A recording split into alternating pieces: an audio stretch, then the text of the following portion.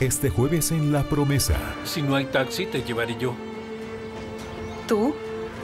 ¿Tú me llevarás a mi trabajo? No me digas.